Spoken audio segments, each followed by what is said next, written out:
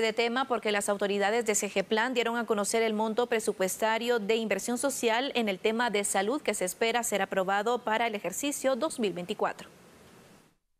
Representantes de CG Plan detallaron que en el apartado de salud se espera dar continuidad a 21 programas de alcance nacional que tienen un costo proyectado de poco más de 23.400 millones de quetzales. Tenemos entonces que para la categoría de salud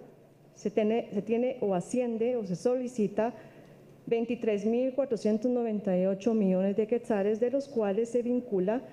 la 21 eh, programas presupuestarios y 83 productos, del cual el, que más, el producto más relevante es el de pensiones o pensionados que reciben pagos oportunos y otras prestaciones por vejez, representando así el 17% de la inversión social en esta categoría.